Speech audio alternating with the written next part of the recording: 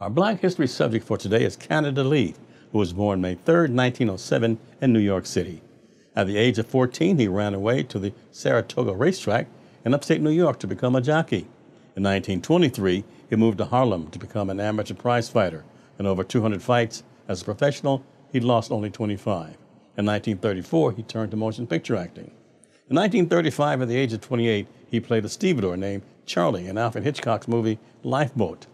Despite that success on the late silver screen, Lee returned to the theater and won his first critical acclaim as Banquo in the Federal Theater's black version of Macbeth. In 1941, Lee played Bigger Thomas in the film Native Son to a great critical and popular acclaim. He appeared in six other movies throughout the 40s.